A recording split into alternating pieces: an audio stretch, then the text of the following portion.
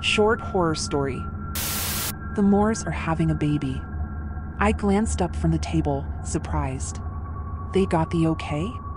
My husband nodded. The paperwork came in today, I heard. He lowered his eyes in sorrow. Poor Joanna, she's only 53. A bead of sweat dripped down my brow, landing on the cool, concrete floor of the bunker. I tried to remind myself to be thankful for this place, this concrete tomb, but it grew more difficult each day. Perpetuum Technologies, the company that sprung up just in time for the largest nuclear war the world had ever seen, had designed the vault to sustain 1,000 people for as long as it took the surface to be inhabitable again. Exactly 1,000 people. Poor Joanna indeed.